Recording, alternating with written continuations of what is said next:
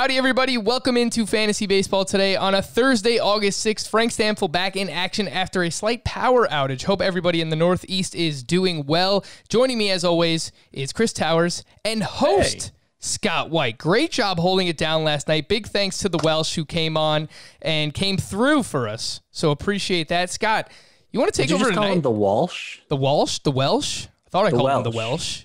Yeah. It's the Welsh. Come on. I know the Come on, Welsh. Frankie.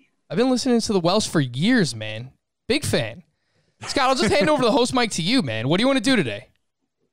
What do I want to? I, I I did not come prepared for this, Frank. I am not taking your job, believe it or not. This should be a, a great relief to you, I would think. Uh, no, you're you're you're ready to host again. You, you have power back, and uh, I'm ready to just be a run of the mill panelist. just for the record, if anyone wants to do my job, feel free. Come on, I'll still get paid for it. But if you want to do the work, by all means, take it away. We'll see. We'll see what we can do. See if we get any takers. 16 game slate on the schedule on Wednesday night. Let's jump right back in. I'm back, and I don't know if I'm back by popular demand, but uh, Susan is also back by popular demand. I asked for your feedback. Most people enjoy. Oh my goodness gracious. So with that, let's get it started. Oh my good goodness, gracious! Scott, I'm not sure if you missed that, but it doesn't really matter because she's here to stay. Who is your oh my goodness gracious player of the night? I'm going to go with Kyle Tucker. Actually, Oh, here he didn't It- take the good one. Uh, yeah, I, I didn't. I, I was being generous to you guys. Kyle Tucker uh, started a game against a lefty, that lefty being Robbie Ray. It was the second consecutive day that Kyle Tucker started against the lefty, the first two times he's done that all year. And in this particular game against Robbie Ray, he hit a home run.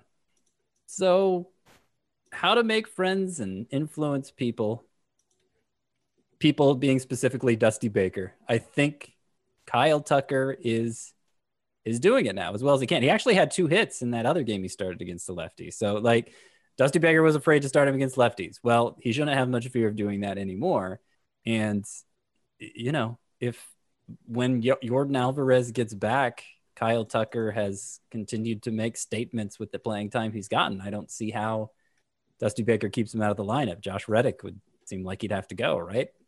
Yeah, and Kyle Tucker has started eight straight games. Scott mentioned it back to back days here against the lefty, hitting a homer off of Robbie Ray. I mean, to be, to be fair, Scott, you can probably hit a home run off Robbie Ray. Uh, where is Adam when you need him? Gosh, uh, Robbie Ray. You guys Ray. have a lot more confidence in my athletic prowess than you should. Just saying. I don't know if it's faith in your athletic prowess or it's just trusting Robbie Ray to be the worst pitcher of He's all time. terrible. I Yeah. would be terrified to stand in the box against Robbie Ray. Yeah, next thing you know, you get a fastball at the Yeah. head. That would not, I would not feel confident or comfortable with that at all.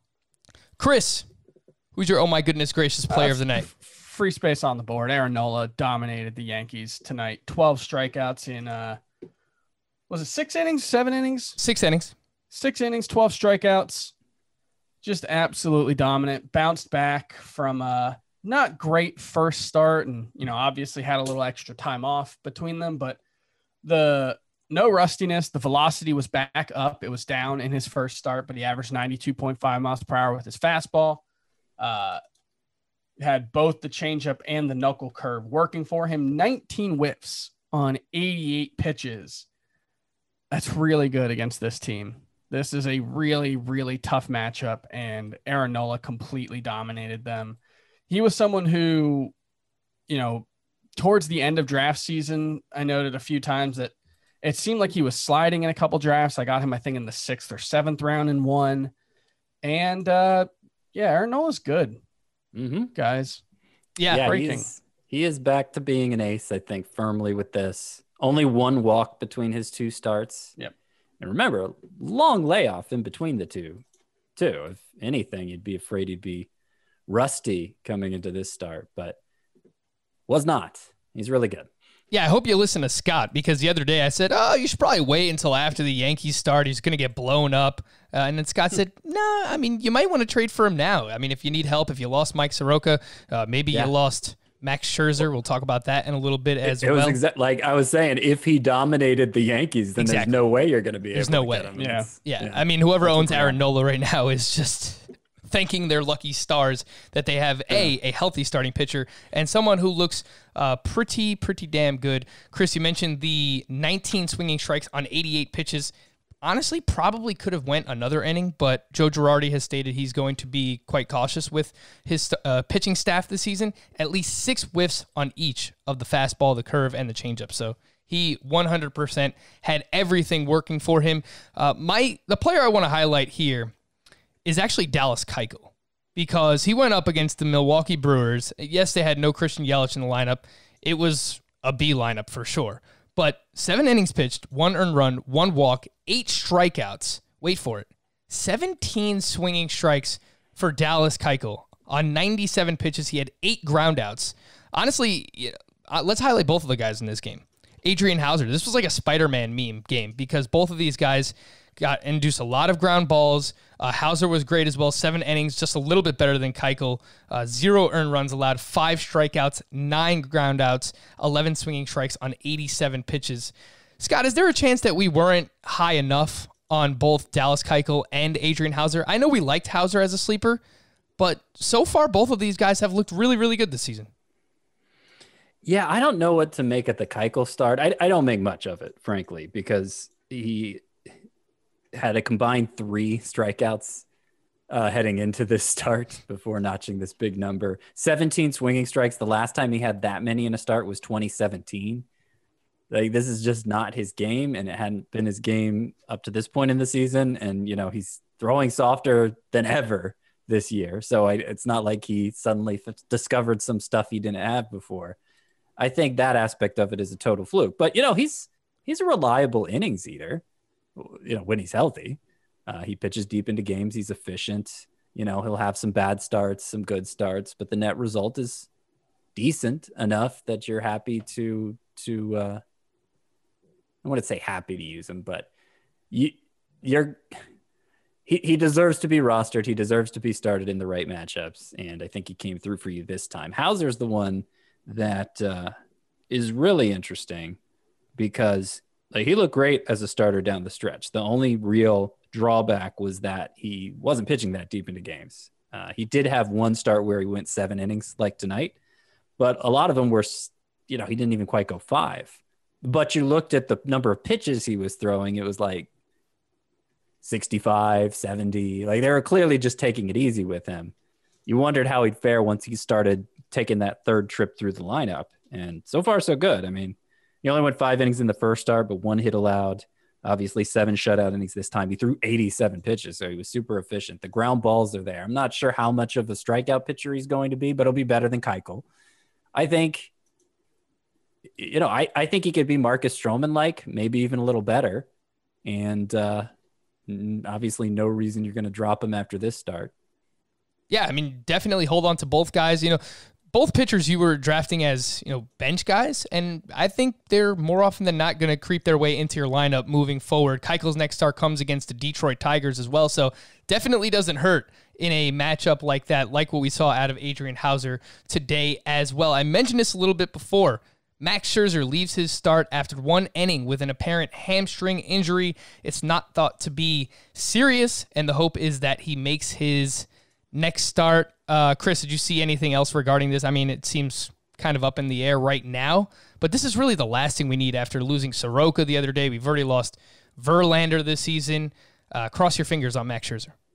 Yeah, uh, I saw a note. I think it was from Eno Sarris of the Athletic that there have been five times as many non-COVID trips to the IL so far this season as there were. th- This was like three days ago, as there were to the same point in the previous season, and that shouldn't be terribly surprising, um, given the short ramp up, the fact the pitchers worked up and then back down. Uh, apparently, Scherzer felt this in his first start and pitched through it, felt it again this time, tried to pitch through it. This time you could see, you know, if you look at the velocity chart, he was throwing like 92 uh, at the end of the start or at the end of that inning, really. Um, Yeah. That's not at all what you like to see, but the fact that they identified what it is and that it's not you know, an arm injury or especially a back injury like he suffered last year, uh, I figure you kind of have to not be concerned, although you have to be a little bit concerned.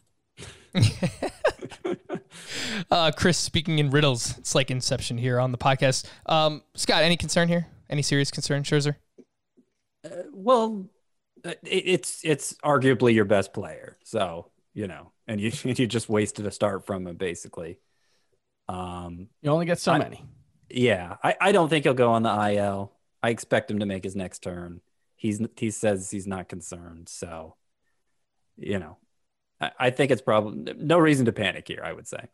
Edwin Encarnacion is considered day to day after being diagnosed with an SC joint inflammation in his left shoulder. Maybe that explains the slow start that he's off to. He's batting 200 with a 550 OPS and a 39% strikeout rate, or maybe he's just old and father time is catching up to Edwin Encarnacion. But something to pay attention to other White Sox news Nick Madrigal was placed on the IL with a separated shoulder. Scott, if you don't have enough IL spots, you could drop Nick Madrigal, right? Yeah, I mean, I'd want to hold on to him in like roto leagues with all the lineup spots with the need for speed. You could probably, he probably deserves to be on your IL in that format. Otherwise, you know, he he had to deliver to stay in those smaller lineups anyway. And yeah, you could probably move on from him if you don't have a spot to stash him. Yeah, I mean, there's a non-zero chance he's gone for the rest of the season. Josh yeah, James, non-zero though. It does sound like they think he'll be back fairly soon. I'm trying to remember the exact timetable that was given. If it was like two, I want to say it was end of August. Okay. Was the phrasing I saw? Yeah. Although that's more than half the season. Yeah. I mean, that's like three weeks away from now. But hey, I mean, if he can chip in right. a handful of steals over the final month of the season, yeah.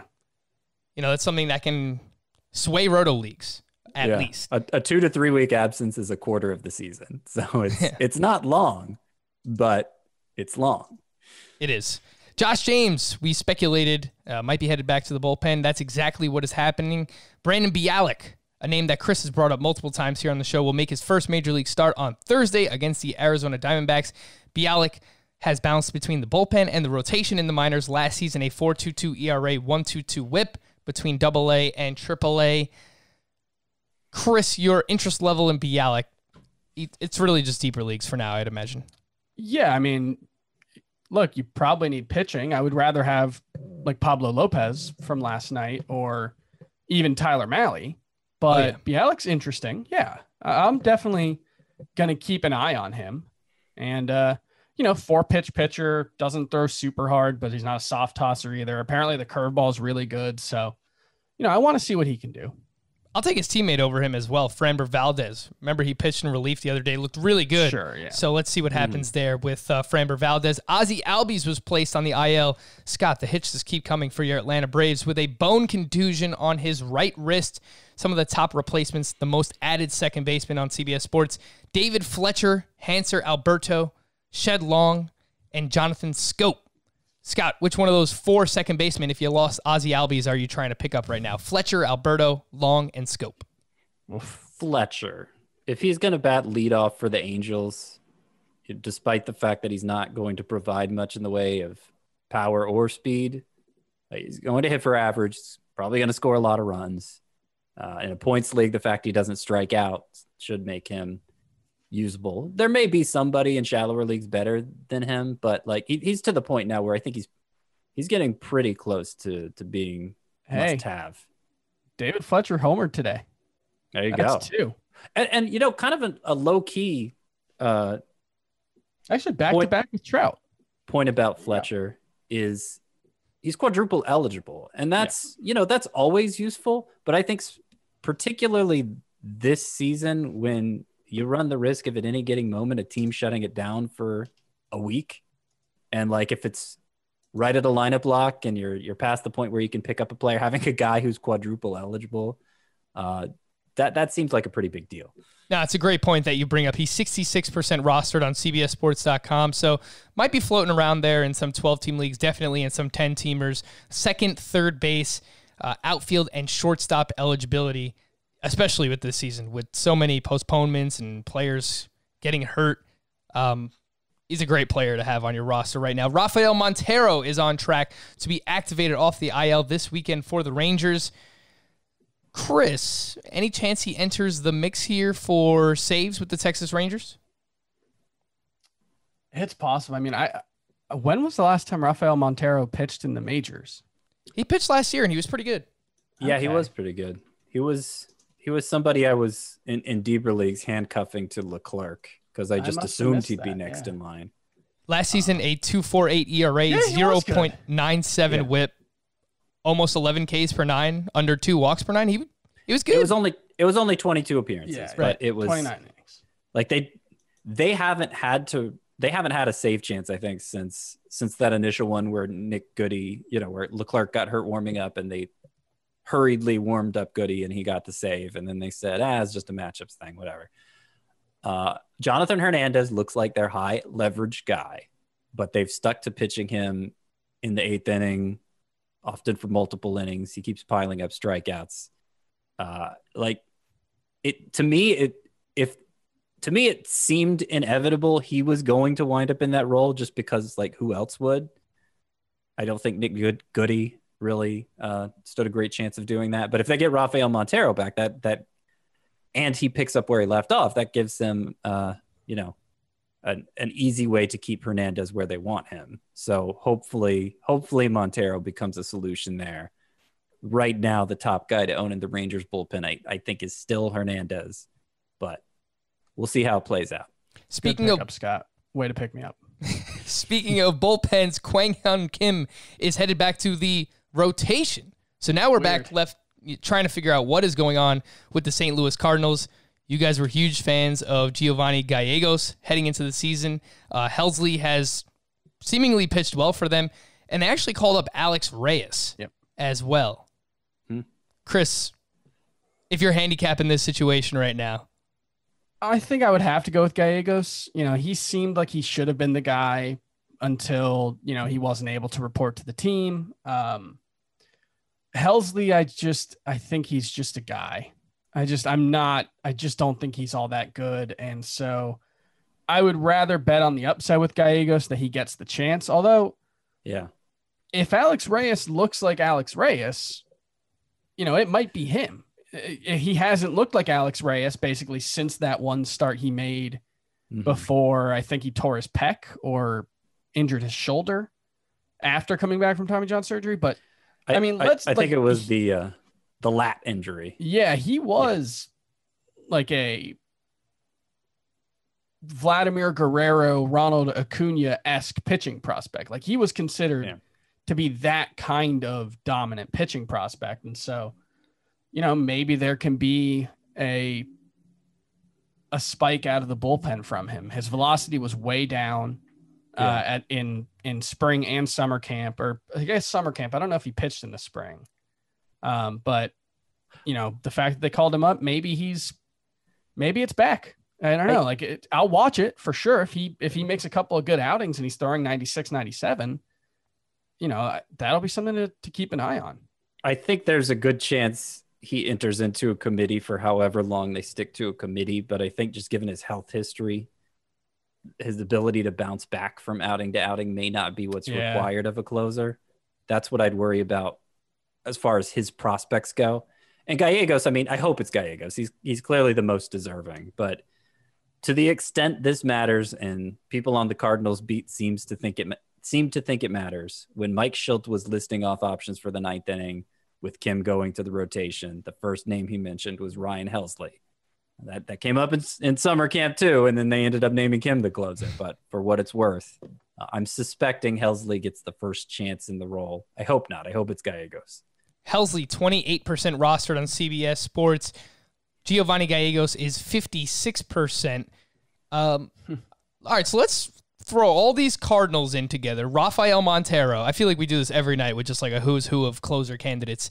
And then last night, Scott, I don't know if you have it in you, if you've got the Michael Caine ready, but Ty Buttrey, your boy, picked up a save last night. So let me put all five of those names in a in a pot. And which Yeah. one are you pulling out first here, Scott? Is it Gallegos? Is it Helsley? Montero? Is it It's, Alex it's a Reyes? new segment. We're calling it Closer Gumbo.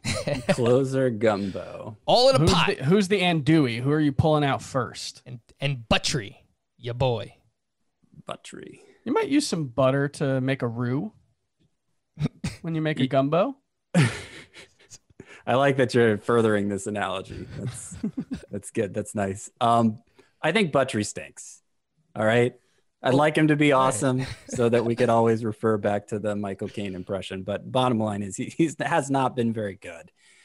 And I, uh, one of the Angels beat writers uh, seemed to suggest that the idea is to pull back on Hansel Robles until, you know, he gets right which may never happen if, if he's permanently lost that velocity. But like, I, I don't think Buttrey's the answer. I don't know who is the answer if it's not him, but like, that's not appetizing at all. So I don't know who, who else was in this gumbo. The Cardinals guys and Rafael Montero. I mean, I would go like number one and two on that list for me would be Helsley and Gallegos. Okay. Um, last closer note: Aroldis Chapman won't be activated quote anytime soon. He's been cleared apparently, and he's throwing, but won't be activated. Uh, Zach Britton picked up his fifth save of the season tonight against the Philadelphia Phillies. Some lineup stuff from today. Christian Yelich was out of the lineup today. Mentioned that earlier. Uh, definitely helped Dallas Keuchel pitch well in that game.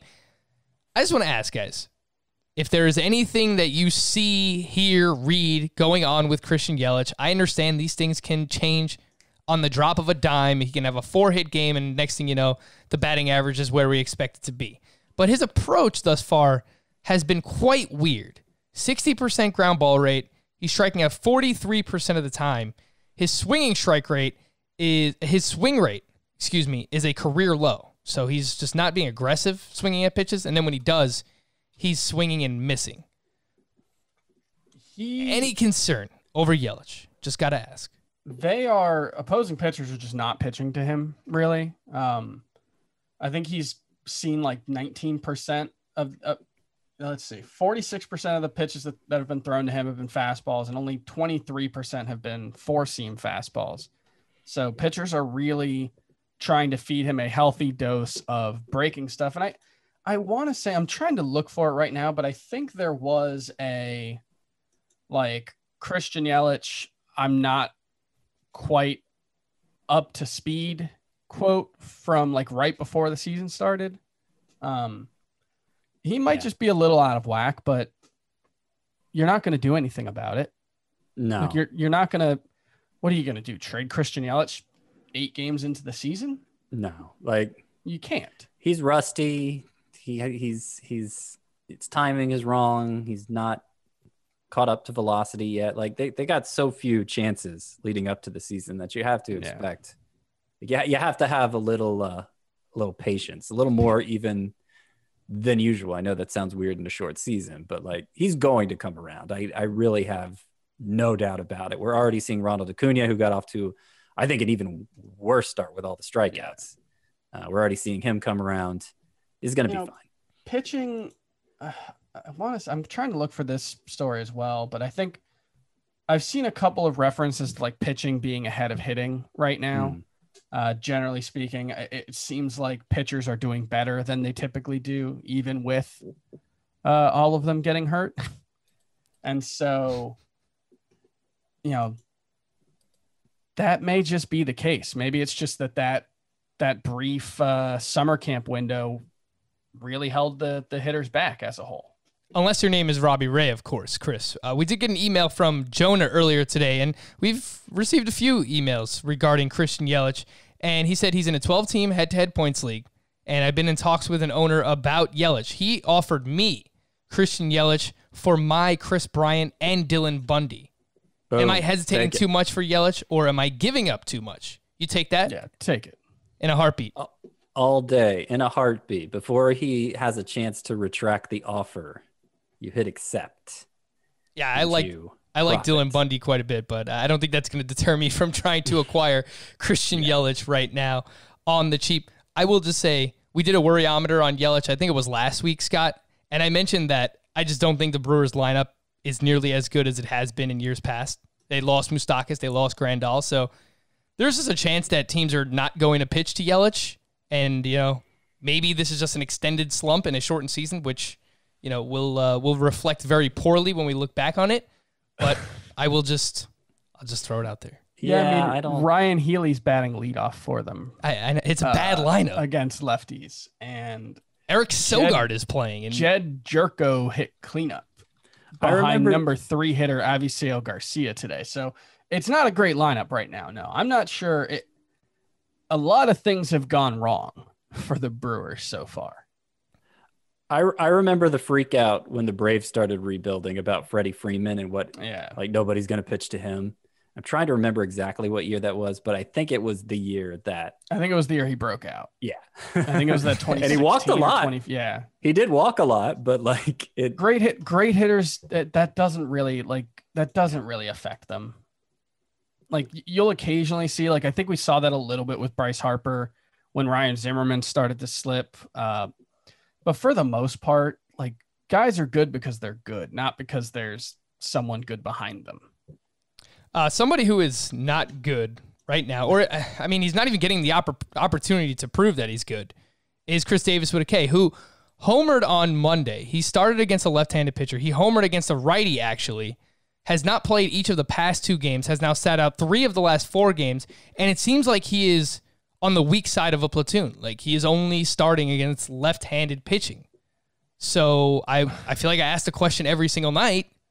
Scott, are we getting closer to dropping Chris Davis now that it looks like he's platooning? Um, look, I don't think you have any reason to roster Chris Davis in a league where you're only starting nine hitters. So this the standard head-to-head lineup, and and he's occupying your one flexible spot like that. That just doesn't add up for me. But if you're talking about a league where you're starting 14 hitters like the standard Roto League, not saying you have to start him, but he's probably worth keeping around for the upside. Uh, y- yeah, obviously a, a couple weeks of this, probably not, but but I'd I'd give him a little more time. Mookie Betts was still out today. Michael Brantley is sitting a second straight game with a quad issue. Uh, he is expected to, hopefully, be back in the lineup on Friday. All right, let's take a look at the action from Wednesday night and start off with some random pitching performances. And I want to ask you which one of these fellas interests you most? Alex Cobb. Yeah, that Alex Cobb against the Miami Marlins. Five innings pitched, one earned run, seven strikeouts, 14 swinging strikes on 86 pitches. His splitter usage is up. He has a two start week next week against the Phillies and the Washington Nationals. Rick Porcello was going up against the Nationals in Washington tonight, entering this game with a 13.50 ERA, seven innings pitched, one earned run, only four strikeouts. Martin Perez against the Rays, five innings pitched, uh, five shutout innings with four strikeouts. Randy Dobnak at the Pirates, six shutout innings, one strikeout, a ton of ground balls, 11 ground ball outs for Randy Dobnak. Uh, Trevor Williams, the other side in that game, seven innings pitched, one earned run. And Kris Bubic, Bubic, six innings, two runs, two walks, six strikeouts, 13 swinging strikes on 88 pitches. Chris, I'll go to you here first. Which one of these fellas interests you most? Cobb, Porcello, Martin Perez, Randy Dobnak, Trevor Williams, and Bubic.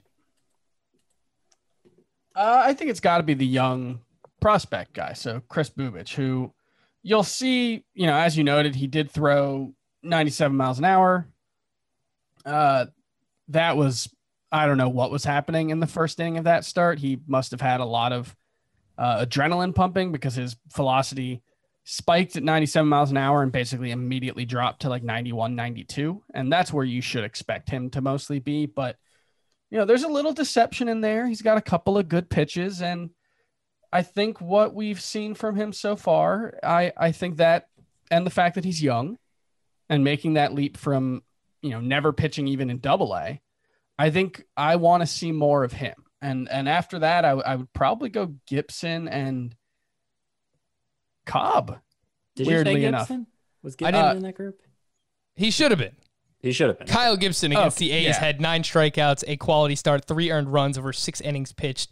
Uh, he has a two star week next week. He's going up against the Mariners and the Rockies in Colorado. Yeah, I th- Gibson and, and Bubic are kind of one A, one B. Maybe you're not going to want to start Gibson, but you know he's always been one of those guys that like fantasy baseball nerds, and I count myself among their ranks. Uh, have always been really interesting. He's got this really good slider, and he occasionally throws it a lot, and he does really well. Uh, and he was pretty good last year, and the Rangers are kind of making a habit out of turning your leftover veteran pitchers into, you know, pretty good, pretty good uh, fantasy contributors. And he threw his slider 40 times on 103 pitches today. Mm-hmm. You know, it, it's, I, I think if I need someone that I feel comfortable starting, I'd probably go with Gibson. I, if I'm speculating, it's probably Bubic, but I'm not sure how I would compare them to like Pablo Lopez from yesterday. Who? You're, so you're really down I, with Pablo Lopez. I mean, it, it, Elieser Hernandez. He wasn't as good. Very similar today. He wasn't as good. And Elieser, Elieser Hernandez, uh, I would argue belongs in this group. I would be more interested in Elieser Hernandez than Rick Porcello or Martin Martin Perez or. yeah, I mean, no, that's fair. That's actually fair. even like Randy Dobnak, I know he's had a couple of good starts so far, but like there are zero strikeouts there. I, well, I mean, I, technically there was one. I was gonna say, today. come on, Chris. I mean, give the guy credit. he had a strikeout. Relatively speaking, I actually want to talk about Dobnak of that group because, uh, like, I, I, I think you hit number one and two perfectly, Bubic and and uh, Gibson, who, you know, I, I think of Gibson as kind of a poor man's Dylan Bundy and that he has always had this one great secondary pitch that has made his whiff rate much higher than you'd suspect for a pitcher who performs like him otherwise. And maybe this change of scenery will allow him to put it all together. Thinking through my rosters, I'm not sure how many I could honestly make room for Kyle Gibson on, but you know he, he's interesting. This this definitely uh, gives me something to watch out for moving forward. Dobnak, I think though, is like he might actually be kind of under the radar good. We usually associate with strikeouts goodness with strikeouts among pitchers, as we should. It's the most important thing a pitcher can do. But Dobnak does like the second and third most important things really, really well. Elite ground ball rate, throws a ton of strikes, doesn't hurt himself with walks. Uh, six innings, three hits, no runs in this start. He's allowed a combined one earned run Dobnak has across three starts. His ERA in, uh, I believe it was, uh, how many appearances was it in the majors last year? Right around 10, I think. His ERA in those, it was nine? Yeah. Was 159. His ERA in the minors last year was 207. His whip was 0.98. Strikeouts were low everywhere. That's just not what he does. But like, he could be this Dallas Keuchel type pitcher that ends up being someone well worth streaming, especially with that lineup backing him and a good bullpen to help him preserve wins. Like, so here's the he could problem. be usable. How many Dallas Keuchel types are there in baseball? There's not a ton, but not they're many. not. There's not. No, I'm not talking about results. I'm not talking about like how good Dallas Keuchel is. I'm just talking about like the kind of profile we're talking about. Yeah. Because there's really only one Dallas Keuchel. Like this is not a profile in today's major league environment that really plays well uh, for more than like a handful of starts here or there. You know, that's and Dallas Keuchel is, you know, a pretty extreme pitcher in a lot of ways. Like, there's no starting pitcher who throws the ball out of the strike zone more than Dallas Keuchel. I don't he, think he's, he's, exactly a Dallas Keuchel, to be fair, because Dallas, like, I think Dobnak's a better control pitcher than Keuchel he might actually be a little worse at missing bats. But um, yeah, I, it, I don't it's know. just I, kind of the rare pitcher who comes along who ends up being serviceable, even though he doesn't miss bats. I think Dobnak, yeah, does Dobnak. I'm sorry, does everything a pitcher who doesn't get strikeouts possibly could to put himself in a position to be usable. He would definitely be below I think he would be below Tyler Mahle for me. I think that's fair. Mahle was very impressive last night, and the swinging strikes were up for him. And you know, it wasn't uh, an easy matchup by any means. I, you know, I, I, would say that the Cleveland Indians are probably like a middle of the road matchup right now. Uh, and Mahle looked very good against them. So I, I would put him a- ahead of Dobnak. But for me, I, I think Bubic and Dobnak are, are the 1A and 1B for me, especially considering that Dobnak does have two starts where he's lined up for two starts. I mean, you can't really assume scheduling right now. But uh, he's at Milwaukee. We just, you know, ripped that lineup to shreds, and he's going up against the Royals. That's a very good two star week. So Yeah. I'm I pretty just- I'm pretty interested in Dobnak. I really struggle with a guy who can't get strikeouts and already throws his breaking pitches like 50% of the time. He also It's like, has man, there is nowhere to go. he has an amazing mustache, Chris. He no, I look aesthetically. I am a Randy Dobnak fan. I would Chris. love to see him win the American League Cy Young. I Uh, am- I'm just uh, there are pitchers I have more faith in for my fantasy team. I, I do want to ask you guys about Mahle because Chris Welsh and I were both pretty dismissive of him yesterday as a guy who has a really good fastball, has always had a really good fastball, throws it a ton, gets creamed the third time through the lineup. So he rarely has starts where he, you know, even goes six innings like he did yesterday. Occasionally he'll have a good start like that, but um, you know, there, there's a pretty clear pattern there. And I'm not So you're wondering why we like him. Yes. I cannot speak for Frank, but I have always been a Tyler Mahle guy. He was someone who uh, rated out really well by the Aces metric um, in terms of stuff and command. And, you know, his velocity's up 94 miles per hour through two starts with his fastball. And he is someone who has tinkered a lot with his pitch mix over the years. Came in uh, with a low 80 slider and a fastball that he averaged right around 93, a changeup at 84.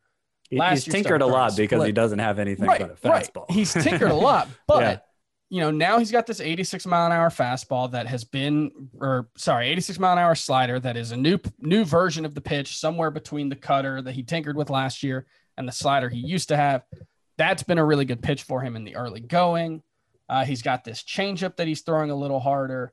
That's been a really good pitch for him. So I just, I think the arm talent is there, and I'm hopeful that he has stumbled upon the right mix because he was, uh, you know, a decent prospect, pretty good minor league numbers, has always had, uh, you know, pretty good control.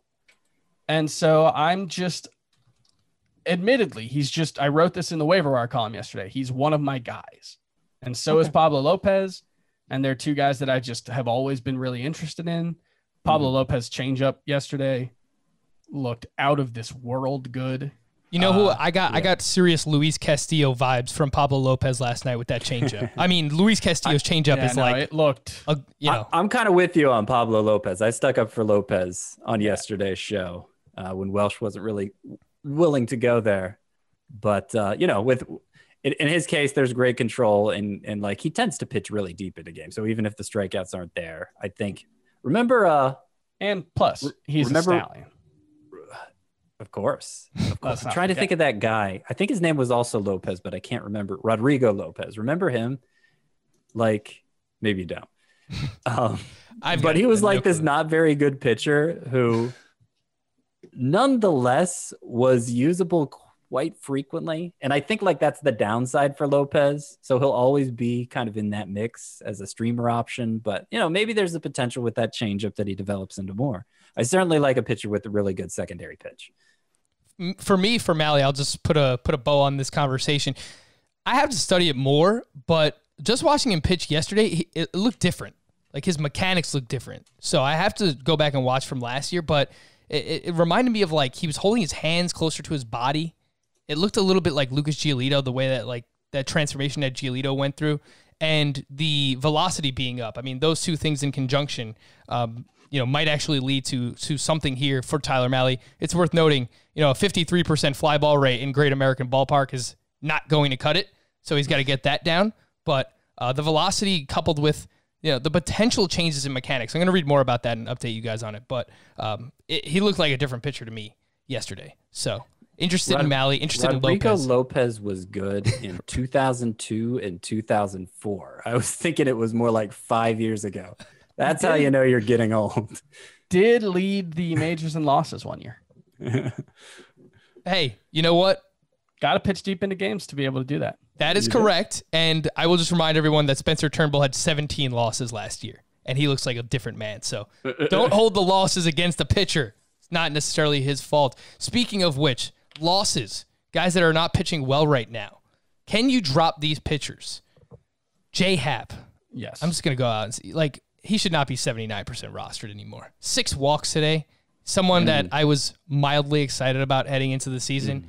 You can drop him for, I would Yep. say, anyone we just talked about. Mahle, Lopez, Bubic. I'll drop him for Randy Dobnak if I need a two star pitcher. yeah, I'm- no, I'm- a hundred percent agree. By the way, Mookie Betts is in the game as a defensive replacement, so okay. just he's seems fine. Worth monitoring, monitoring for sure. Uh, some other names on this list: Sean Manaea, another clunker, three and a third, six hits, four earned runs, five strikeouts. He is rostered in 95% of CBS leagues. And per Martin Gallegos, who covers the A's for MLB.com, I saw this on Twitter earlier. Sean Manaea has a 22.5 ERA in the fourth and fifth inning through three starts this season. So he's not even making it third time through the order. Order. It's second time through the order that Sean Manaea is absolutely getting crushed. Same thing with Lance McCullers today at the Diamondbacks, an offense that had been struggling. I think they were like 25th in runs scored entering tonight's game. Seven hits, eight earned runs. Uh, it was really that second time through the lineup. They absolutely crushed him. People were speculating on Twitter that he was tipping his pitches there. Uh, he is also 96% rostered. And then Robbie Ray. You know, we brought up the name, but I mean, what are you going to do with this guy at this point? He allowed six earned runs again today, including three homers. I get it's a tough matchup against Houston. Scott, Manaea, McCullers, Robbie Ray. We already said you could drop Happ. Are you dropping all three of these guys? Or are you dropping none of these guys? If you had to drop one, which one would it be? I think I've dropped Manaea everywhere I had him. If not, I'd be comfortable doing that. I'd drop him for Bubic. I'm not sure I'd drop him for all of those kind of scrubby pitchers we talked about, but you know, there, there's a chance somebody, there's somebody out there in your league that he's worth dropping for. Uh, McCullers and Robbie Ray, I think the upside is so good that I I'd still hold on to them. Obviously, would not feel comfortable starting them right now. McCullers working his way back from Tommy John surgery. That's always difficult. The velocity's down like a mile per hour. The weirdest thing about McCullers is like he we- we're used to seeing him throw his curveball 50% of the time. It's kind of the key to his success. And he's throwing it more like 30% of the time now, which is still a lot, but considerably less than 50%. He's So I'd- mostly traded those out for changeups, though. It's not like he's throwing the fastball more. Yeah, well, it, And- it's not working for him. Yeah, and you know he's got one of those changeups that you know it does have a lot of horizontal movement and can. I mean, he's always been a guy who struggles with his control.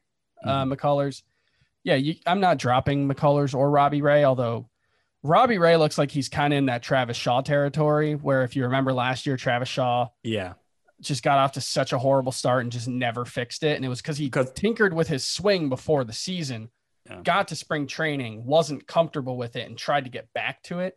And that's like every time we talk about like swing changes or new pitching mechanics, we always tend to view it as, well, this can only help. And it's like, maybe it can, but it can also make things worse, especially if, you know, maybe Robbie Ray is trying to like maybe he's fighting between the two of them and maybe look maybe it clicks and he ends up being really good we know the potential's there uh, but right now you definitely can't start him and i'm not i'm not going out to to make trades for uh either of these. guys. robbie ray well yeah either of them but especially robbie ray as for Manaea, you know, you mentioned that stat fourth and fifth times through the order.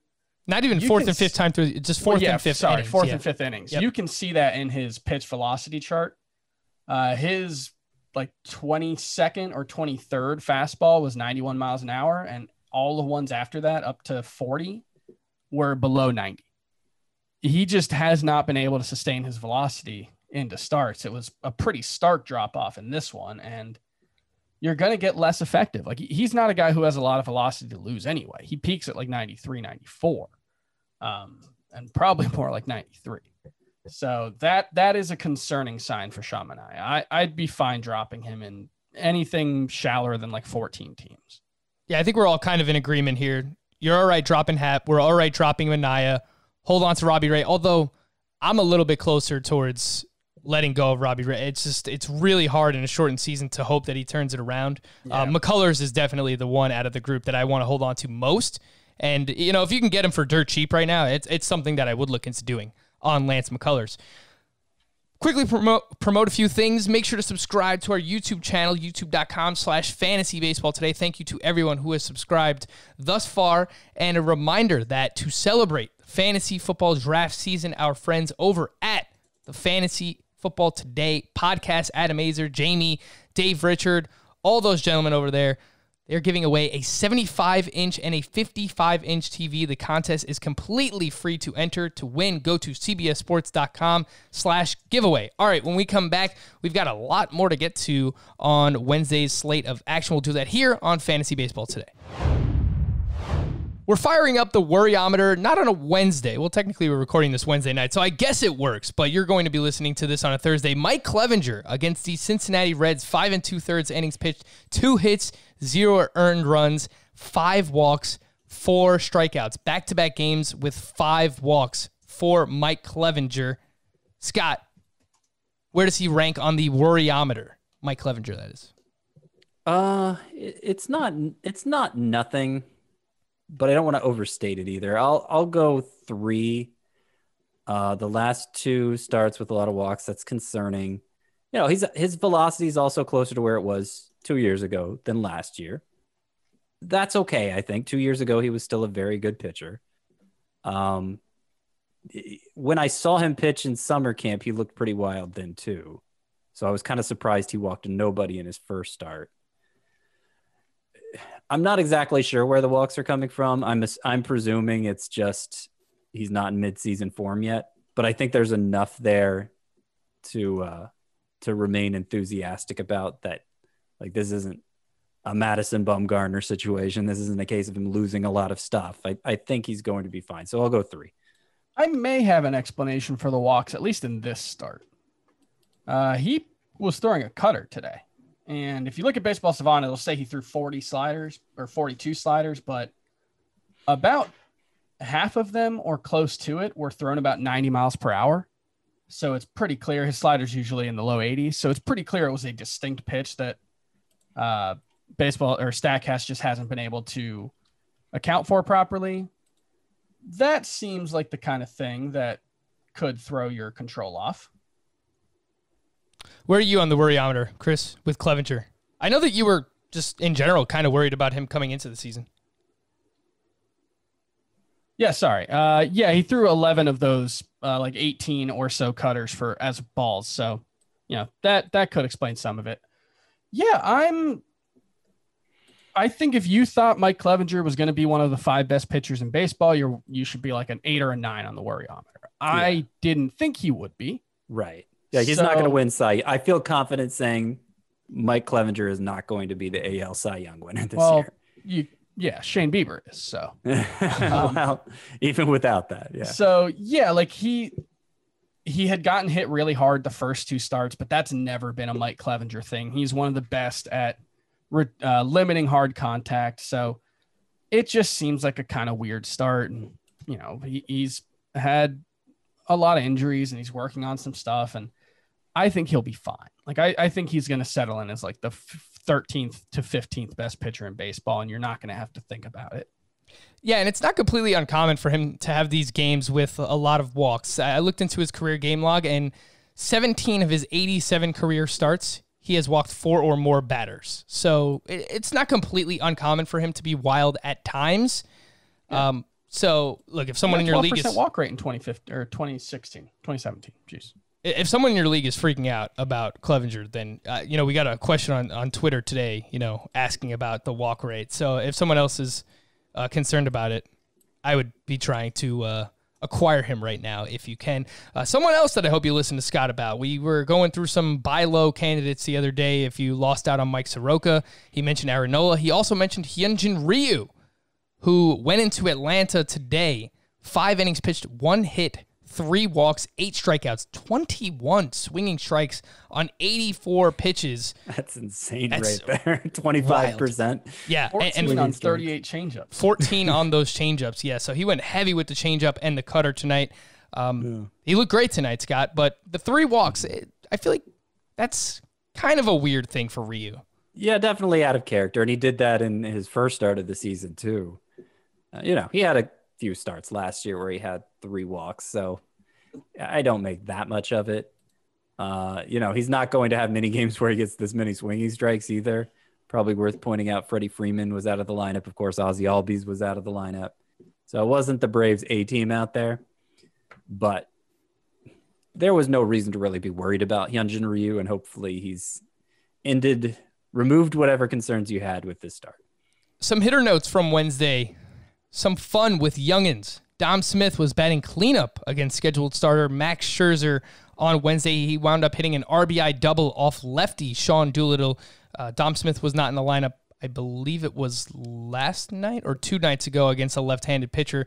So maybe the fact that he hit that RBI double tonight off Sean Doolittle will help him get in the lineup uh, more frequently. Scott, do you think he needs to be owned in 12-team head-to-head points leagues yet, or not that shallow? I missed the name. Who Dom, talking about? Dom Smith. Not that shallow yet, no. Um, especially since we saw him sit against the one lefty. Uh, you know, since Cespedes left. So yeah, I, I, mean, I'm definitely interested in him, but it's more of a scout team situation. I probably wouldn't pick him up in anything shallower than 15 team leagues right now.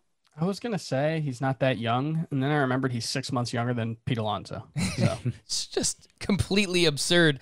Uh, Kyle Tucker, someone we mentioned earlier in the show, he started eight straight games, hit a home run off Robbie Ray tonight, and had two hits yesterday against the lefty uh, Madison Bumgarner. Alex Verdugo hit his first home run of the season, first home run as a Red Sox. Two run homer off another lefty, Ryan Yarbrough here. So lefty on lefty action for some youngsters here. And entering tonight's game, he had an 81% ground ball rate. So I know that that was something I wanted to pay attention to heading into the season, kind of similar to uh, Vladimir Guerrero, where you know you want to see Verdugo lift the ball and hit more line drives. Um, Chris, I mean, what have you made so far of Alex Verdugo? I mean, he's been playing more consistently than he was, you know, when the season first started, but 81% ground ball rate. Don't love that. No, that's that's not the the approach that you want to see from uh, Alex Verdugo, although it's not surprising. He's always going to be a, a ground ball heavy kind of guy. Um, and it won't be 81% either. You know, moving forward, it will probably be something like 50%. I think that's about where he was last season. Um, I, yeah, I, I'm, I'm okay with what he's done so far. I would hope there's more power to come. Uh, but, you know, even if he had played a full season this year, I thought the ceiling was probably closer to 20 or 25. Um, so, you know, hopefully we got better things coming and, you know, it'll take more balls in the air to get there.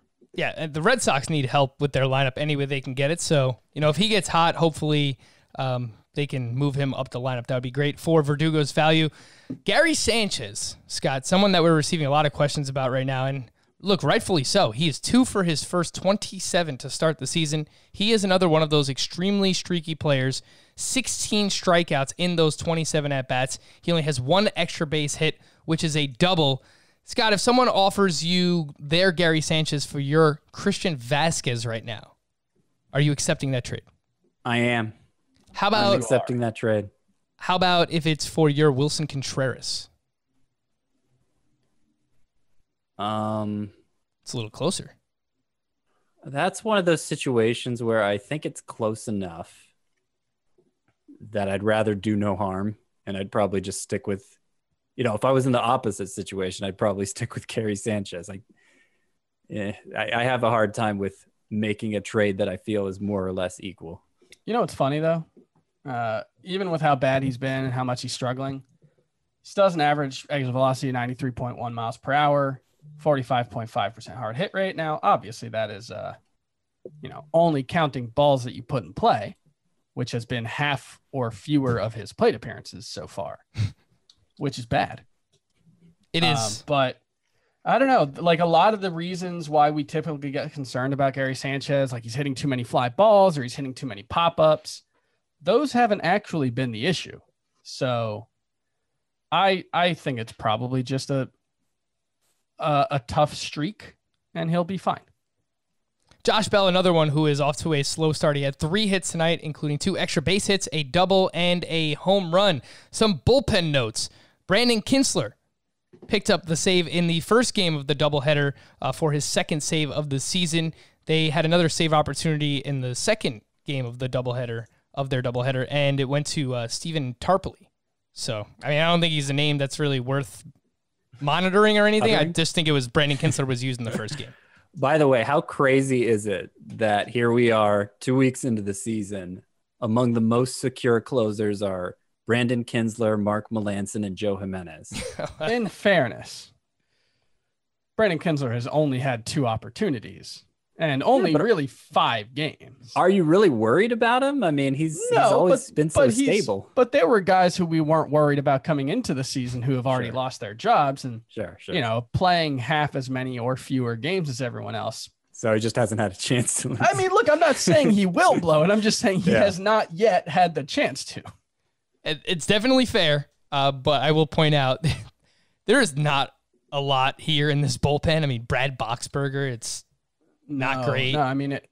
Nick It wasn't a great bullpen before two thirds of the team got COVID nineteen. So yeah, Well, you wouldn't know based on the way that they're playing and uh, crushing everybody. Helps when you play the Baltimore Orioles, of course, Chris. But first place, baby. let's go. Let's go, Marlins. Seth Lugo, two clean innings for the save on Wednesday. Edwin Diaz pitched uh, last night in a loss. Well, I guess two nights ago now. Whenever when you're listening to this, and Jeurys Familia had pitched uh, the previous two days before today as well. So, I mean, Scott, I don't know if there's any serious takeaway here. It just seems like a fluid situation. Uh, and yeah. Lugo was I- the uh, freshest one here tonight. Yeah, I, I still think Diaz is the guy you want from the Mets bullpen. His last two appearances were before the ninth inning, but they were both fine. I think he's back in a pretty comfortable spot. I I think all season long we might see Seth Lugo used this way, where you know if he's rested enough, he gets through the eighth with no problem. They just leave him out there, kind of like Josh Hader was handled by the Brewers before he became their their actual closer. Uh, I, I think we can see that a lot from Lugo this year, but I still expect Diaz to get the most saves there. Brad Hand picked up his fourth save of the season, one walk and two strikeouts. James Karinchak pitched the eighth inning once again with one hit and one strikeout. It's Brad Hand's job for now, but I, I don't think that he has a long leash. If he blows one or two saves, I think we see Karen Karinchak in that role, especially the way that Karen Karinchak has pitched so far this season. I, I think we might be, I think you might be, Uh-oh. Frank, Uh-oh. underestimating just who Brad Hand is and how good he's been the past four years. Uh, last last outing, his velocity was fine. It was all the way back. It was back down again this outing. Look back to last year, early on, his velocity was pretty low too. He's not a high velocity guy to begin with. And like he's been getting lots of strikeouts. So, you know, last four years, Hand has a 275 ERA, 109 whip, 12.2 K per nine. I know we're all excited about James Karinchak and what he could bring to the table, but it would be an upset if he's as good as Brad Hand's been the past four years. So, like, let's just root for Hand to keep the job. And I think he has a good chance of doing it.